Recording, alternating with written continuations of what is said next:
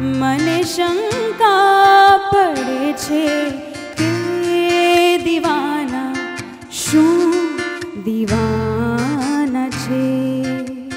સમજદારીથી અળગા થઈ જવાના સૌ બહાના છે. મને શંકા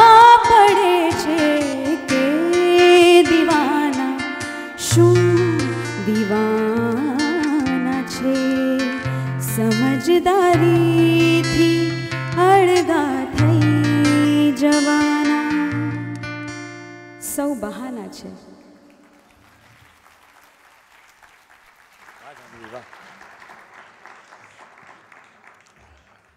મને એ કહેવી, એ વાત કહેવી છે કે એકલા ગિટાર સાથે આ રીતે તરન્નુમના વાતાવરણને અનુભવવાનો આખો વિચાર એ ઉદયન ઠક્કર અને કમલેશ મોતાનો છે. આ બે જવાબદાર લોકો માટે એકવાર ખૂબ જોરદાર તાળીઓ હોવી જોઈએ. બે જવાબદાર છૂટું પાડીને. એટલા માટે કે, અને એ સ્વરાંકન જે એની તાસીર સાથે પ્રગટ્યું છે અને આજુબાજુ પછી કોઈ ટેકાની જરૂર રહેતી નથી. અને આમ પણ હવે ગુજરાતી સંગીત એક એવો સમય સ્વીકારવો પડશે, જ્યાંથી એણે વાતાવરણની સાથે અંતઃકરણમાં પણ પ્રવેશ કરવાની જરૂરિયાત ઊભી થઈ છે. અને ત્યારે આ સીધે સીધું લાગેલી નોટ આપણા હૃદય સુધી એવી રીતે પહોંચે છે, જાણે કાનથી કોઈક આપણને હૃદય સુધી અજવાળું પીવડાવતું હોય. આ અનુભવ સિદ્ધ વાત છે. અને જલન સાહેબની આ મુરસ્સા ગઝલ એના અદ્ભુત શેરો છે. ચલો, એ રીતે તો કચરો થશે, ઓછો આ ધરતીનો. આ જ ગઝલનો શેર છે. ચલો, એ રીતે તો કચરો થશે, ઓછો આ ધરતીનો. સુણ્યું છે, ધનપતિઓ ચંદ્ર પર રહેવા જવાના છે. અને અદ્ભુત શેર. ગુજરાતી ગઝલના ચૂંટેલા શેરો, એનો જો બીજી ભાષામાં અનુવાદ કરવાનો થાય, તો કયો શેર લેવો પડે? એમાંનો એક શેર, ગમે ના સૌ કવન, તો માફ કરજો એક બાબત પર. ગમે ના સૌ કવન, તો માફ કરજો એક બાબત પર. ખુદા જેવા ખુદાના ક્યાં બધા સર્જન મજાના છે? અને આ જલન સાહેબ, એની એક વધારે અગત્યની મજા એ છે કે જ્યારે મરીઝ સાહેબ, શૂન્ય પાલનપુરી, સૈફ પાલનપુરી, આ બધા પરંપરાના સર્વોત્તમ શાયરોને સાંજની ચિંતા હતી. અને જ્યારે ઉમાશંકર જોશી, સુંદરમ, આ બધા આપણા મૂર્ધન્ય કવિઓને ઇતિહાસમાં અમર થઈ જવા માટે પોતાની વાતની ચિંતા હતી. બંનેના પોત અલગ છે, બંનેની ભાત અલગ છે. અને ત્યારે જલન સાહેબ એક એવા ઉમરા ઉપર આવે છે, જ્યાંથી જલન સાહેબની અને શેખાદમ આબુવાલાની મૈત્રી એ ગુજરાતી ગઝલને મેઇન સ્ટ્રીમ ઓફ પોએટ્રી સુધી પહોંચાડવાનું કામ કરી આપે છે. જલન સાહેબ એક એવા શાયર છે, જેણે પરંપરા પછીના શાયરોને પુષ્કળ રીતે મંચ આપ્યું અને એ બધા શાયરોને સારા મેગેઝિનોમાં એમની ગઝલો છપાય એવું એક વાતાવરણ ઊભું કરી આપ્યું. જલન સાહેબ અને શેખાદમ આબુવાલા, આ બંનેઓને કારણે સંસ્કૃતિમાં પહેલ વહેલી વાર શેખાદમ આબુવાલાની ગઝલ છપાય છે. આ બધું અપ્રતિમ મૈત્રી સાથે ગઝલની શુદ્ધ ખેવના રાખે એવા વ્યક્તિત્વ પાસે થયું. જલન સાહેબ, એ સમયના એક ઉત્તમ સંચાલક પણ ખરા. જો કે આજે માધવ રામાનુજ પણ અહીંયા બેઠા છે. સરપ્રાઇઝ આપ્યું એમણે અમદાવાદથી આવીને. માધવભાઈ પણ એટલા જ ઉત્તમ સંચાલક અને એટલા જ સર્વોત્તમ કવિ. માધવભાઈ, એકવાર તમે જ્યાં છો ત્યાંથી ઊભા થાઓ.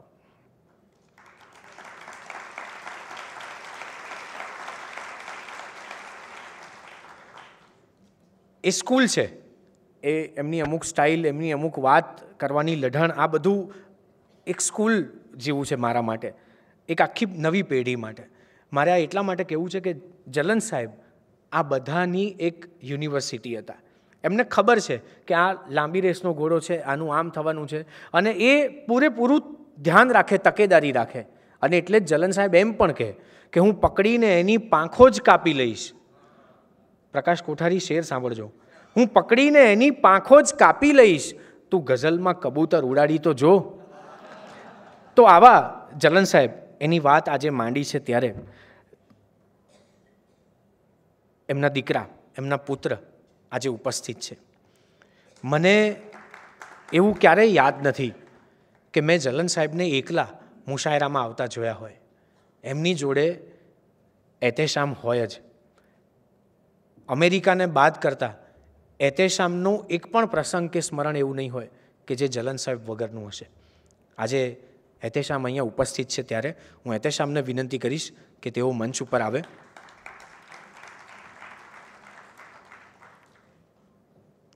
પુત્રએ માત્ર અંજલિ આપવાની નથી હોતી, પણ પિતાના જીવન સૂત્રને અનુભવવાની પણ વાત હોય છે. હું એતેશામને વિનંતી કરીશ કે આ પ્રસંગે એની વાત માંડે. નમસ્કાર. ભારતીય વિદ્યાભવનનો આભારી છું. ઉદયનભાઈ ઠક્કરનો આભારી છું કે હમણાં આ ઉપક્રમ માટે મને અહીં બોલાયો. આમ તો પપ્પા સાથે હું લગભગ બે દાયકાથી સાથે છું.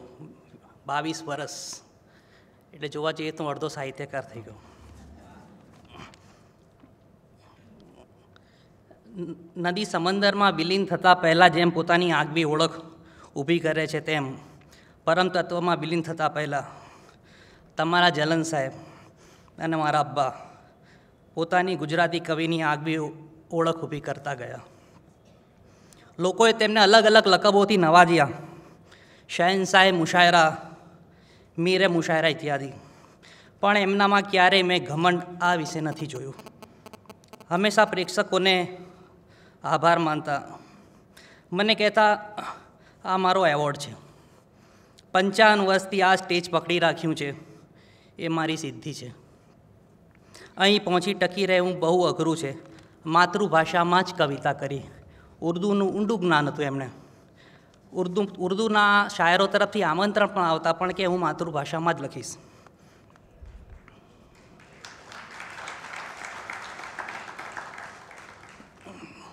પૂજ્ય મોરારી બાપુ, અબ્બાને શ્રદ્ધાંજલિ આપવા અમારા નિવાસસ્થાને આવ્યા હતા.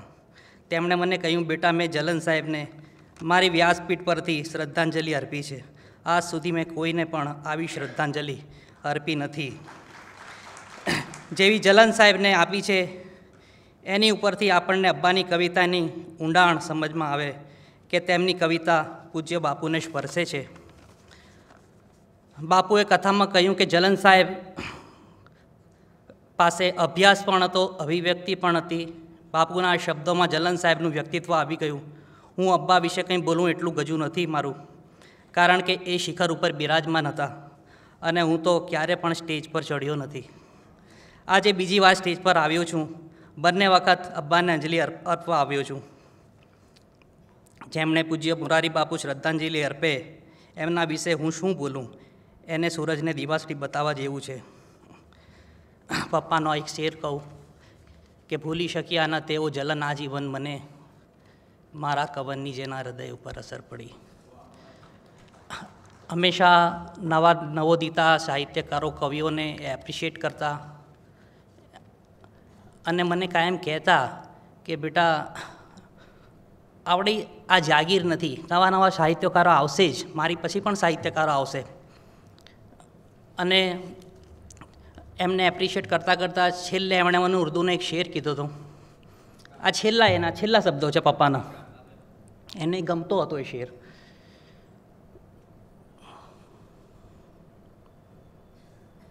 शेर ध्यान बात है क्यों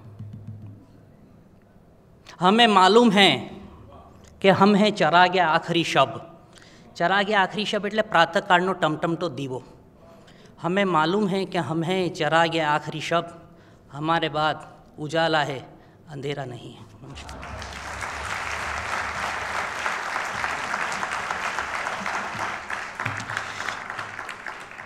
આ એ જલન સાહેબ, જેમનો મિજાજ તેજ તોખાર. માધવભાઈ, કેવો મતલબ આપે? સમય સંજોગને મન આફતોને ખેંચી લાવે છે. સમય સંજોગને મન આફતોને ખેંચી લાવે છે અને બાકી રહે છે એ ઉપરવાળા વધારે છે. સમય સંજોગને મન આફતોને ખેંચી લાવે છે અને બાકી રહે છે એ ઉપરવાળા વધારે છે. શેર સાંભળજો. નિરા, નિવારણ થાતાં તકલીફોનું મન હરખાય શી રીતે? નિવારણ થાતાં તકલીફોનું મન હરખાય શી રીતે? અહીંના લોક કામ આવીને પાછા કહી બતાડે છે? અને આ અદ્ભુત શેર છે. જલન, વાતાવરણ હું સ્વચ્છ રાખું તો કઈ રીતે? જલન, વાતાવરણ હું સ્વચ્છ રાખું તો કઈ રીતે? હવાને પણ જગતની ધૂળ જ્યાં મેલી બનાવે છે. આ જલન સાહેબ છે. મિત્રો, એક શેરમાં એમ કહે છે કે એના જ કારણે એ નિરાકાર રહી ગયો. એના જ કારણે એ નિરાકાર રહી ગયો. પીંછી ફર્યા વિના તો ક્યાં આકાર થાય છે?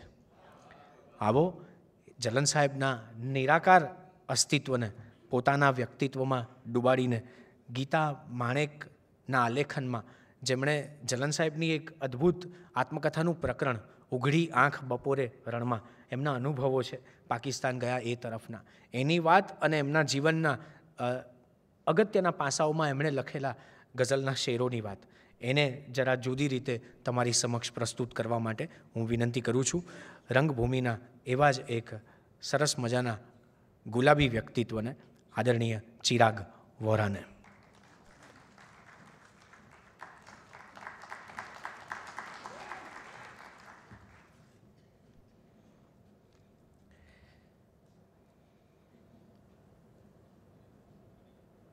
ઓ ખુદા, લે આવી ગયો હું તારા દરબારમાં. હું સૈયદ જલાલુદ્દીન સાદુદ્દીન આલવીઉલ હુસૈની. ન ઓળખ્યો મને? અહમ કરનાર વ્યક્તિઓની જો નામાવલી કરીએ અહમ કરનાર વ્યક્તિઓની જો નામાવલી કરીએ, તો સૌથી મોખરે એમાં ખુદાનું નામ આવે છે. હવે ઓળખ્યો ને? તને સૌથી વધુ અહંકારી અને એ પણ છડે ચોક કહેવાની ગુસ્તાખી આ તારો બંદો જ કરી શકે ને? હા, હું એ જ જલન માત્રી. જ્યાં અને જ્યારે જ્યારે તારો અન્યાય જોયો, ત્યારે તને મન ભરીને ગાળો ભાંડી. તકરાર કરી, તારા વિરુદ્ધ લખીને તારી સામે બંડખોરી કરવાની આવી ગુસ્તાખી, તારો આ પાંચ વખતનો પાક્કો નમાઝી જ કરી શકે ને. જમાનો ભલે ગમે તે કહે, તું પારકો નહીં, પણ મારો પોતાનો છે. એની આજ તો મોટી ગવાહી છે. તે જ તો મને જમીન પર ખેડા જિલ્લાના માતર ગામમાં સંત હઝરત શાહ વજીઉદ્દીનના વંશજ તરીકે મોકલ્યો. પીરઝાદા સૈયદ સાદુદ્દીન સાહેબ અને ઉમરાવ બેગમના ચોથા અને સૌથી નાના દીકરા તરીકે. ચાર ભાઈઓમાં સૌથી નાનો એટલે બહુ લાડકો એ ખરો. ગરીબ મા બાપ પાસેથી વારસામાં માલ મિલકત તો ન મળી, પણ અબ્બાજાનની ખુદ્દારી, ખુમારી અને આગવો મિજાજ મારામાં ભરપૂર ઉતર્યો. બાળપણ ગામડાની ધૂળમાં વીત્યું. માતર ગામમાં તો હાઈસ્કૂલ નહોતી, એટલે ખેડાની એડવર્ડ મેમોરિયલ હાઈસ્કૂલમાં મેટ્રિક પાસ કર્યું. કોલેજ ભણવાની ઈચ્છા હતી, પણ અબ્બાજાને કહ્યું, માફ કરજે દીકરા મારી સ્થિતિ નથી કે તને કોલેજ ભણાવું. હવે તો તું બુઢા બાપનો સથવારો બને તો સારું. કોલેજમાં એડમિશન લેવા માટે મને બોલાવવા આવેલા મારા દોસ્તોને મેં ભીની આંખે કહ્યું, ભાઈઓ, આપ બધા કોલેજ જાઓ, હું નોકરીની શોધમાં લાગી જઈશ.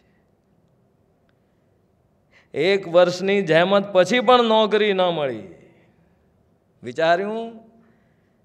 છોડો હિન્દુસ્તાન, ચલો પાકિસ્તાન. ત્યાં પાકિસ્તાનમાં સગો ભાઈ હતો. ગુજરાતી દૈનિકનો માલિક હતો. નોકરી તો જતાની સાથે જ મળી જશે. લાગતું હતું પરદેશ જઈને કમાઈશ તો માનપાન વધી જશે. જુવાનીનું જોમ હતું. મનમાં શેર ઘૂંટ્યો. વો ફૂલ સર ચઢા જો ચમન સે નિકલ ગયા. वो फूल सर चढ़ा जो चमन से निकल गया इज्जत उसे मिली जो वतन से निकल गया इज्जत उसे मिली जो वतन से निकल ગયા પણ આ મારી ગલત ફહેમી હતી કરાચીમાં સગા મોટા ભાઈ પાસે પહોંચવાની યાત્રામાં પોલીસનો માર જેલ ભૂખ્યા તરસ્યા જંગલમાં અને રેગિસ્તાનમાં માઇલો સુધી ચાલવાની જહેમત ઉઠાવી ત્યારે મનમાં એક ઉમ્મીદ હતી. લાગતું હતું કે ભાઈ સાથે પહોંચવા સુધીની જ આ યાતનાઓ છે. એકવાર પહોંચતા, પામતા અને વગદાર સગા મોટા ભાઈના ઘરે પહોંચ્યા એટલે બેડો પાર. ખુદા તે જ આપેલી સાહસ વૃત્તિથી પાકિસ્તાન તો પહોંચ્યો, પણ તારા આ જહાનમાં એક જ ખૂનમાંથી સર્જેલા મારા મોટા ભાઈ ભાભીએ મને જોતા વેત કહ્યું, કોણ છે તું? કોણ છે તું? ભાભી તો હજુ બે મહિના પહેલા જ અમને મળીને હિન્દુસ્તાનથી આવ્યા હતા. તોય મેં કહ્યું મને ન ઓળખ્યો. હું તમારો નાનો ભાઈ જલાલુદ્દીન. દિવસોની મુશ્કેલી ભરી યાતનાએ મને તોડી નહોતો નાખ્યો. જેટલો આ કોણ છે તું શબ્દોએ ભાંગી નાખ્યો. જે ભાઈના ભરોસે આવ્યો હતો, તેણે ત્રણેક દિવસમાં જ પાછો વતન રવાના કરી દીધો. સમંદરના ઉછળતા મોજાઓ વચ્ચે પરવર દિગાર તે જ બચાવ્યો. રણમાં અથડાતો, કૂડાતો, ભૂખ્યો તરસ્યો હતો. જે થોડું ઘણું હતું એ પણ લૂંટાઈ ગયું. ત્યારે તને જ તો યાદ કર્યો હતો. લૂંટી જનાર ખુશ રહે પણ ભૂલજે નહીં. લૂંટી જનાર ખુશ રહે પણ ભૂલજે નહીં. તારા એકલાનો જ ક્યાં પરવરદિગાર છે? દુઃખો અને યાતનાઓ વચ્ચેથી માંડ માંડ ઘર ભેગો થયો ત્યારે મનમાં આ જ શેર ઘુમરાતો હતો. મારા પતનની પેરવી કરતું તું એ જલન. મારા પતનની પેરવી કરતું તું એ જલન. મારું જ ખાનદાન હતું, કોણ માનશે? વતનમાં હેમખેમ પાછો ફર્યો. સૌથી મોટા ભાઈ પત્રકાર હતા અને વેણી નામના માસિકનું સંપાદન કરતા. એમાં ગઝલો વાંચતો અને ક્યારે એનો રંગ લાગી ગયો ખબર જ ના રહી. જે કંઈ મને મળે તો એ માગ્યા વગર મળે. જે કંઈ મને મળે તો એ માગ્યા વગર મળે. દિલ પણ હવે મળે તો તમન્નાથી પર મળે. અને છે દિલની માંગ એ કે મળે છુટકારો ગમ થકી. છે દિલની માંગ એ કે મળે છુટકારો ગમ થકી. છે ગમની માંગ એ કે જલનનું જીગર મળે. આ પહેલી ગઝલ લખી તો લોકોએ કહ્યું કે, વાહ, તમે તો બહુ સરસ લખો છો. પછી તો લખતો ગયો. કારણ કે ગમની માંગ પૂરી થઈ હતી અને એને જગન જલનનું જીગર મળતું રહ્યું હતું. ખૂબ જલ્યો, ખૂબ સળગ્યો, પણ પરવરદિગાર, હું પાક જ રહ્યો. પાકિસ્તાનથી ભાઈએ મરવા માટે તગેડ્યો, પછી અહીં આવીને મહી કેનાલ કન્સ્ટ્રક્શનમાં નોકરી તો મળી, પણ ઝાઝું ટકી ન શક્યો. કારણ કે બંધ બાંધવાના નામે પૈસા ઘર ભેગા કરનારાઓ શૈતાનોમાં ભળી ન શક્યો. ડીએસપી ઓફિસમાં પણ રૂશ્વતખોરી કરનારાઓને જોઈને એસટી કોર્પોરેશનમાં નિવૃત્તિ સુધી રહ્યો. જો કે છેવટ સુધી એક જ સવાલ રહ્યો. ઈમાન વેચનાર છે આરામથી ખુદા. ઈમાન વેચનાર છે, આરામથી ખુદા ખાતો રહે છે, ઠોકરો ઈમાનદાર કેમ? નિર્દોષ ભોગવે સજા દોષિત મજા કરે. નિર્દોષ ભોગવે સજા દોષિત મજા કરે. તુજ મહેરબાનીના ખુદા આવા પ્રકાર કેમ? યા અલ્લાહ, જો કે એક વાત કહું ગુજરાતી ભાષા અને ગુજરાતીના ગઝલ ચાહકોએ મને ખૂબ પ્રેમ આપ્યો. તને તો યાદ જ હશે, કાલુપુરની પોળમાં એક શ્રીમંતના આલિશાન બંગલામાં મહેફિલ યોજાઈ હતી. મજરૂ સુલતાનપુરી સાહેબ આવ્યા હતા. તેમના માટે જે બેઠક યોજાઈ હતી, કેટ કેટલાય શાયરો આવ્યા હતા. હું તો છડે છેક છેવાડે બેઠો હતો ઉંબરા પાસે. આદિલ મંસૂરી સાહેબની નજર પડી મારા પર. અરે જલન માત્રી સાહેબ, તમે ત્યાં ક્યાં બેઠા છો? આજે તો હું શ્રોતા બનીને આવ્યો છું. મારે મજરૂ સાહેબને સાંભળવા છે. પણ તેમણે મારી એક વાત ન માની. પછી તો શું? મહેફિલનો દોર મારા હાથમાં આવી ગયો. દુખી થવાને માટે કોઈ ધરતી પર નહીં આવે. દુખી થવાને માટે કોઈ ધરતી પર નહીં આવે. હવે સદીઓ જશે ને કોઈ પૈગંબર નહીં આવે. અને દુઃખો આવ્યા છે હમણાં તો ફક્ત બે ચાર સંખ્યામાં.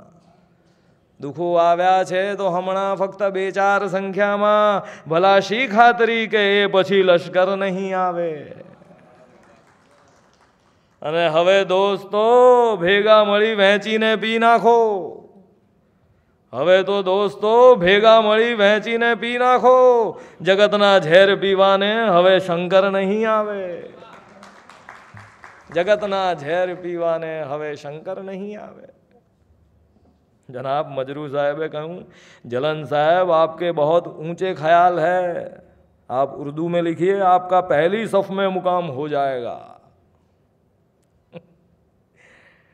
પહેલી સફ એ મારે ક્યાં પહેલી હરોળમાં આવવું હતું કે મારે ક્યાં કોઈને પાડી દેવા હતા? મારા મિત્રો મને જાનથી પણ વાલા હતા. એટલે જ તો મારા ચાહકોને પણ મેં સણસણતો જવાબ આપ્યો હતો. હા. આ મુંબઈના અંધેરીમાં જ તો બની હતી એ ઘટના. મુરબ્બી મરીઝ સાહેબ પોતાની ગઝલો સંભળાવવા ઊભા થયા. હજુ એકાદ બે શેર સંભળાવ્યા, ત્યાં તો મારા ચાહકોએ બૂમાબૂમ કરી, જલન માતરી જલન માતરી. વરી સાહેબ બેસી ગયા. હું ઊભો થયો અને મેં લગભગ એક કલાક શાયરીઓ અને ગઝલો સંભળાવી. લોકોએ વાહ વાહ કરી અને ભરપૂર દાદ આપી. મારી એ રજૂઆતના અંતે મેં શ્રોતાઓને કહ્યું આ બધી ગઝલો જે તમે મારા મુખેથી સાંભળી એ બધી મરી સાહેબની હતી. મેં મારી એક પણ ગઝલ નહોતી સંભળાવી. મારા મિત્ર શોભિત દેસાઈ મને કહેતા, ગઝલના સર્જનમાં ફેમિલી પ્લાનિંગ ના હોય. પણ ગઝલોનું માસ પ્રોડક્શન કરવાનું મને ક્યારેય રૂચ્યું જ નહોતું. યા ખુદા, તને તો યાદ જ હશે પેલો શેર? જેનો રદીફ તો મળી ગયો હતો. નહીતર હાથમાંથી જાય છટકી શી મજા લે એની? નહીતર હાથમાંથી જાય છટકી શી મજા લે એની? પણ કાફિયા મળતો નહોતો. રાતના એક વાગ્યાથી છત પર બેસીને આસમાનમાં તારા તરફ તાક્યા કર્યું. ત્યારે છેક ચાર વાગે કાફિયા મળ્યો. હું સ્વપ્ન જોઈને પાછો જરૂર ઊંઘી ગયો હોય. ત્યારે આખો શેર બન્યો. નહીતર હાથમાંથી જાય છટકી, શી મજા લેની હું સ્વપ્ન જોઈને પાછો જરૂર ઊંઘી ગયો હોય. સાચું કહું? તો મેં એટલું જ લખ્યું જેટલું તે લખાવ્યું.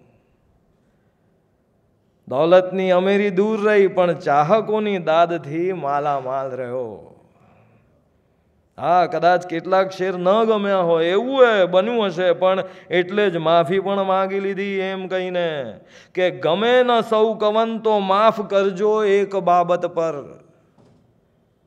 ગમે ન સૌ કવન તો માફ કરજો એક બાબત પર. ખુદા જેવા ખુદાના ક્યાં બધા સર્જન મજાના છે?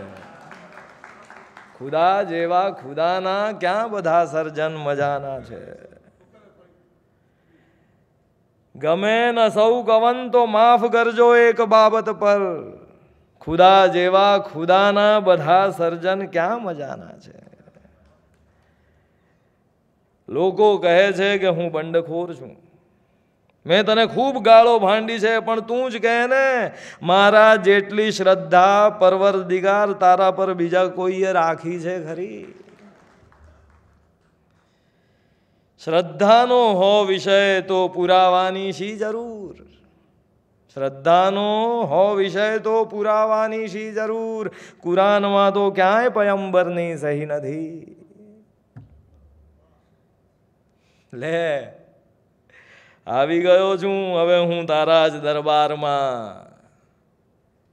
આવી ગયો છું તારા દરબારમાં, કારણ કે હું જો અનુકરણ ન કરું તો કરવું શું હું જો અનુકરણ ન કરું તો કરવું શું અહીંયા મરી જવાનો પ્રથમથી જ રિવાજ છે.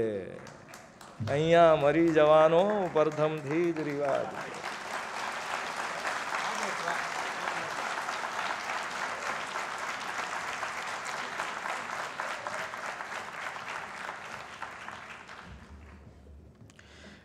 જેટલી તાળીઓ ચિરાગ વોરા માટે હોવી જોઈએ, એટલી જ તાળીઓ આ લખનાર ગીતા માણેક માટે હોવી જોઈએ. ખૂબ જોરદાર તાળીઓ હોવી જોઈએ. આમ,